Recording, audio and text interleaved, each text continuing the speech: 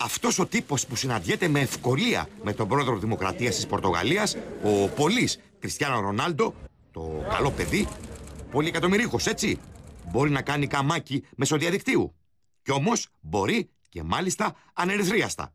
Το διέπραξε λοιπόν αναζητώντας μια Ρωσίδα χορεύτρια αισθησιακών χωρών, Αλιώνα Αλεξάνδροβα με το όνομα, και έγινε ρεζίλ των σκυλιών. Το κορίτσι έψαχνε δημοσιότητα και τα έβγαλε όλα στη φόρα. Μα όλα έτσι.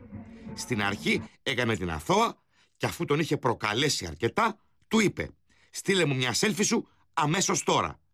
«Κάνω μασάζ όταν τελειώσω», της απάντησε εκείνος, διστάζοντας να φωτογραφηθεί. Της έδωσε όμως το τηλέφωνό του για να τον καλέσει. Εκείνη, η Αλιώνα, τα είπε χαρτί και καλαμάρι στη ρωσική τηλεόραση. Я, конечно же, знала и слышала про него. Я попросила прислать селфи прямо сейчас, написала ему send me your selfie right now, на что он мне ответил, что он сейчас на массаже, вот, и типа потом. Но пока селфи не получила, поэтому не знаю, может быть, он считает это оскорбительным, как бы доказывать, что это он. Και εντάξει, το κορίτσι έψαχνε διαφήμιση αφού δεν της φτάνουν τα reality show όπου δείχνει τα κάλλη της. Αλλά εκείνος από τη θεά Ειρήνα Σάικ στη λαϊκή χορεύτρια, τι να κάνεις. Δεν τα έχει κάνει όλα, αλλά η τάση του Κριστιανού στη μαμά Ρωσία είναι ολοφάνερη.